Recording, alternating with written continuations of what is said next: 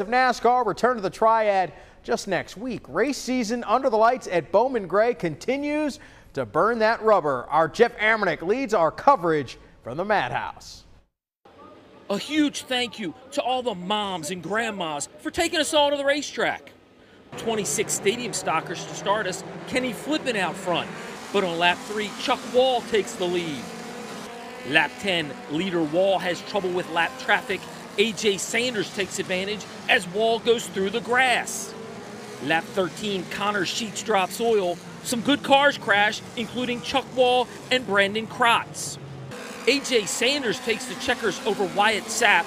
It's the 58th career win for AJ Sanders. Sportsman 20 lapper Michael Adams starts on the pole, Chase Robertson second. Adams and Robertson both have two wins already this year.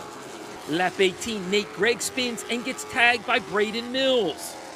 Michael Adams takes his third win of the year, besting young Chase Robertson. Three wins, pretty good. Uh, best best start we've ever had.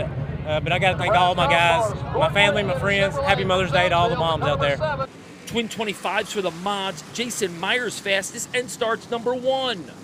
Lap six, Dan Spini takes a pop and then spins. Jason Myers battles Tim Brown down to the wire and takes the win. The first win of the year, but more importantly, his 38th career modified win, tying his legendary father, Gary Myers, for ninth on the all time win list.